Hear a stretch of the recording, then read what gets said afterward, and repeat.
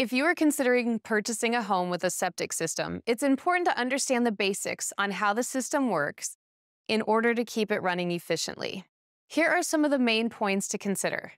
Have the system inspected prior to purchasing. Understand what type of septic system is installed, and this will determine the maintenance and upkeep that is necessary. Locate the tank and its components, and understand the layout of the system. This is important if you plan to change the landscaping or add things such as a pool. Have the system professionally pumped and maintained on a regular basis. Avoid putting anything such as cooked oils or grease into the system. This can cause clogs and other problems. Maintain the drainage field by avoiding any heavy traffic or construction in that area. Be aware of the signs if the septic system is failing, such as sewer backups and odors. Most systems have an alarm to alert the homeowner if there is a problem. Follow these tips and your system will run smoothly for a long time.